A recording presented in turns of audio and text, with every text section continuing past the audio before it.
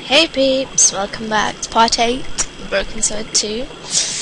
Um, seems that we've just been doing the housework for a priest. Press his collar, so we'll grab it and we'll give it to him. So that we can get to this village. Nope, wrong way. There we go. And give it to him. And hopefully he should help us. Here's your collar, Father. Alright, come on.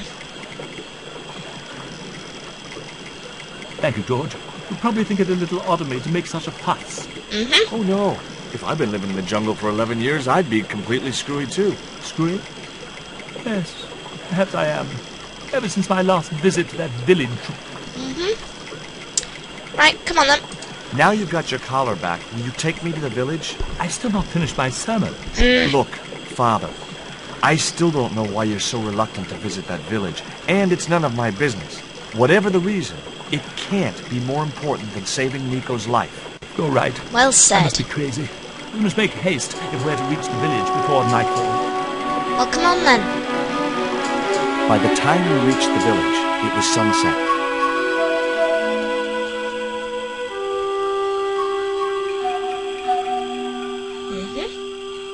Hello, boys.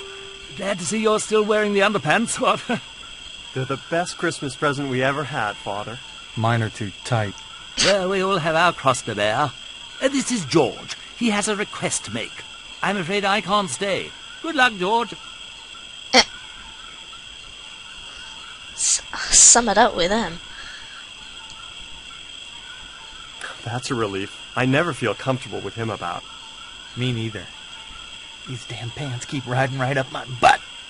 So, what do you want? This is what I want. My girlfriend has been bitten by a snake. So, everyone in my family has been bitten by snakes. I was bitten by a dormouse once. She's real sick. I hoped your wise man might have medicine. Wise man, you must have the wrong village. Come on. Father Hubert said there was a wise man in the village who could help me. No, there's no one of that description here. Ooh, he must mean the old man, the shaman. I thought he just made up all those stories he tells. I never thought of him as being wise. Makes me wonder. They've got like proper South American or Central American Indians here that speak fluent American, have fluent American accents, and speak like Americans. Bit odd. Never mind. I'd like to see the shaman, please. You can't just go walking in there and demand to speak to the shaman. Why not? You have to observe the protocol. The shaman demands tribute. Tribute? You mean like a gift? That's right. The eternal question. What do you give a man who has everything? Believe it or not, give him the dog biscuits. Here, he'll like these biscuits. If you say so.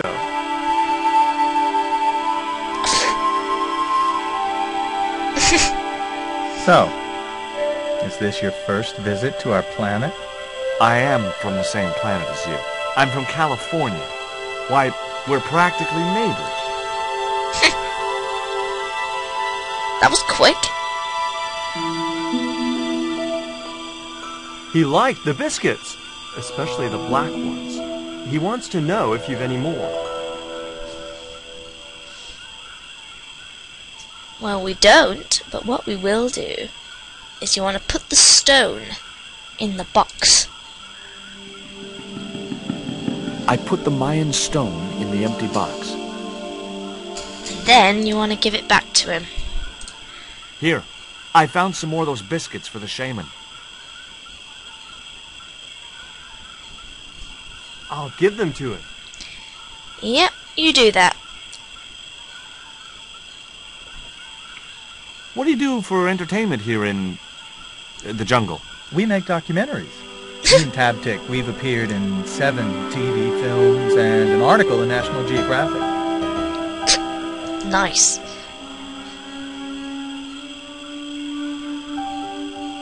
The shaman wants to talk to you. I hoped he would. Well, it's been nice to talk to you guys. Right. Come on.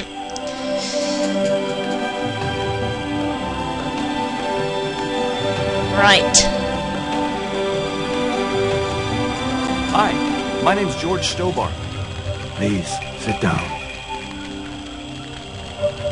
Welcome, George. Thanks. It has long been foretold that a white man would bring the Coyote Stone to this village. Really? My girlfriend's been bitten by a snake. And you want me to heal her? That's the idea. Can you do it? I'm not sure. My gums aren't what they used to be. Listen, my girlfriend's in a coma. Please, old man, give me the root. What root? Father Hubert told me of a root which could cure the bite of the river snake. Tuh. There's nothing sacred with these people. That was our secret, known only to members of my tribe. If that root is my chance of saving Nico's life, then I want it. Fast.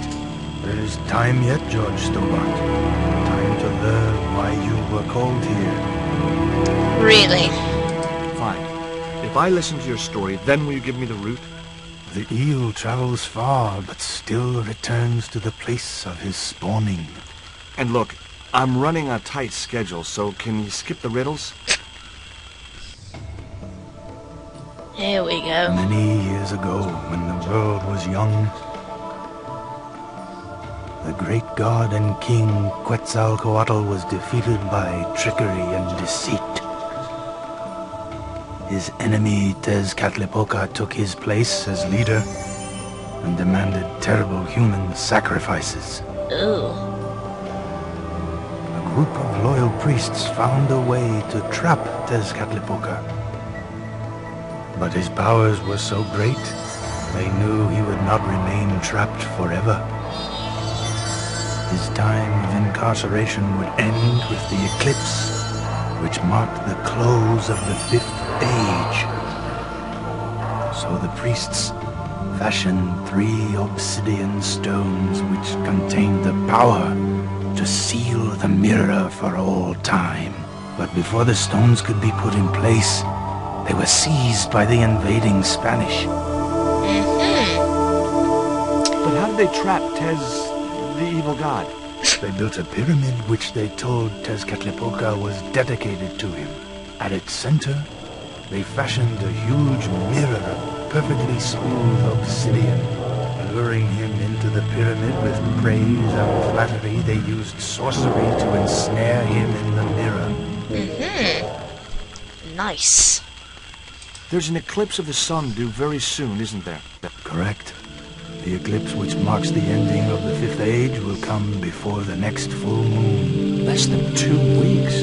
I didn't really believe that Tezcatlipoca would return, but I figured Karzac's plans were in some way connected. What happened to the stones? They were taken by the Spanish to the coastal town that is now called Quaramonte City. Only one stone reached Spain. The other two fell into the hands of buccaneers. The Jaguar stone was captured by an English captain, El Draco. The Eagle hmm. stone was taken by a pirate called Ketch. The third stone, the Coyote stone, reached Spain safely. That is the stone in your possession. Aha. Tell me more about the Jaguar stone. Many centuries ago, the port of Quaramonte was entered by a ship flying Spanish colors. The captain, the man known as El Draco, sent soldiers ashore. Only when the soldiers arrested the mayor did the people realize that they were English privateers. The mayor was held hostage while the soldiers looted and plundered the city. Amongst the treasures they stole was the Jaguar stone. Where is the Jaguar stone now? I suppose El Draco took it back to his homeland, across the Great Sea. To England. Hmm, interesting. Tell me more about the Eagle stone. The stone was loaded onto a galleon with many valuable artifacts plundered by the Spanish. But shortly after leaving harbor, a terrible squall blew up and damaged the ship. The ship was intercepted by a bloodthirsty pirate, Captain Ketch. Ketch made short work of overpowering the crew, stealing the treasure, and sinking the Spanish ship. Typical pirate then. Where's the Eagle stone now? Nobody knows for sure. Ketch retired from piracy and bought an island in the Caribbean. Hmm. What do I do when I find the stones? Bring them here to me, and I shall prepare you. The stones must be taken to the heart of the pyramid. Only there can they be used to seal the gate by which Tezcatlipoca will return to this world. I see. Can you show me the way to the pyramid of Tezcatlipoca? Not until you possess all three stones. Okay. Can I have the root now? Now do I get the root? Here, take it. Make haste if you wish to save the girl's life. The hummingbird sings to me of death to come. Now you're talking in riddles again. Listen, is it okay if I crash here? I've got no chance of finding my way through the jungle in the dark. You're welcome, but you probably won't get much sleep. Tonight's the night of the monkey dance. Hmm.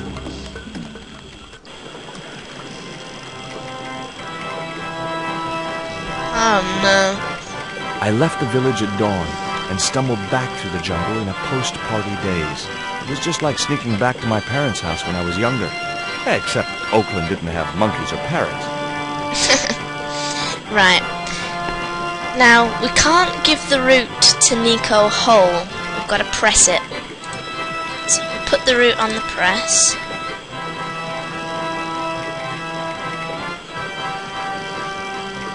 Hmm? And we'll put the cone underneath to catch it. The cone was ideal as a makeshift container. Then we'll press it.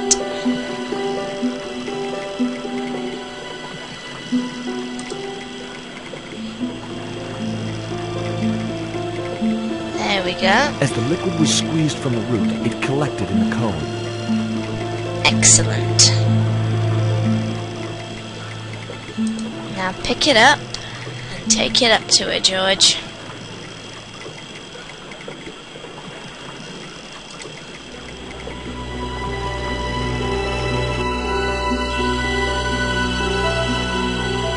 Look, Hubert, the antidote.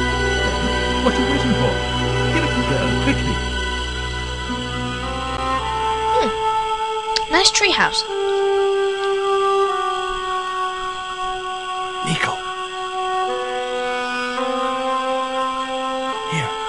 Drink this.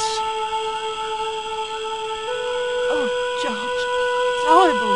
Just swallow it down. Okay, try and rest now, darling. You'll need all your strength when we go after the other two stones. Other stones? what other stones? What have you gotten me into now, Josh Stobbart? The patient is sounding more like her own self already. Nico recovered quickly from her fever.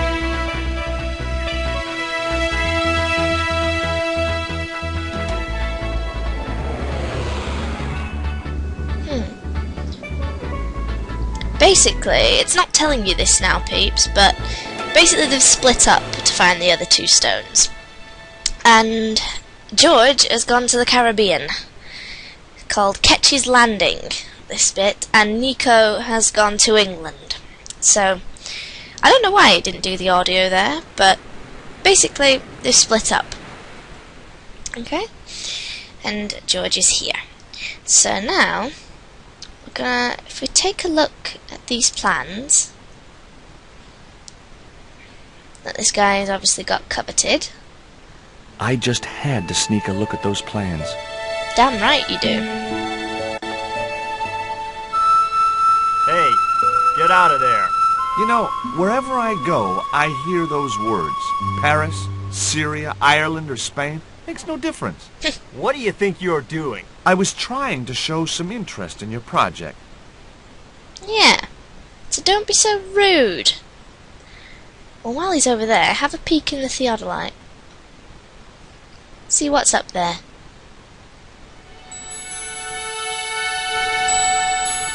Hmm. Something shiny up there. Hmm. Interesting. Well, we'll have a closer look at what's up there and investigate this guy in the next video. So, see you there, peeps.